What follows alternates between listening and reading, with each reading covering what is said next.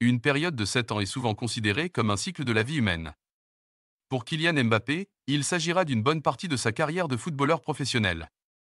Arrivé le 31 août 2017, dans le cadre d'un prêt d'une saison avec option d'achat de 180 millions d'euros, le natif de Bondy ne sera officiellement plus un joueur du Paris Saint-Germain ce lundi. À minuit. L'officialisation de sa non-prolongation de contrat avec le club de la capitale date du 11 mai dernier. Je ressens beaucoup d'émotions. Pendant toutes ces années, j'ai eu la chance et l'immense honneur de faire partie du plus grand club de France, l'un des meilleurs au monde. Le PSG m'a permis de grandir en tant que joueur et en tant qu'homme avec toute la gloire et les erreurs que j'ai pu faire. Avait déclaré celui est désormais le meilleur buteur de l'histoire des Rouges et Bleus dans une vidéo diffusée sur les réseaux sociaux. L'histoire entre Kylian Mbappé et le PSG s'est mal terminée.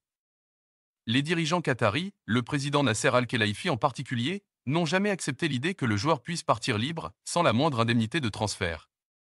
C'est pourtant ce qui a fini par arriver, puisque le capitaine de l'équipe de France appartiendra officiellement au Real Madrid ce lundi 1er juillet. Depuis son arrivée au PSG au cours de l'été 2017. En provenance de l'AS Monaco, jamais l'attaquant tricolore n'avait inscrit autant de buts que lors de la saison qui vient de se terminer. Toutefois, son exercice 2023 à 2024 aura été chaotique en raison du feuilleton dont il a été le protagoniste.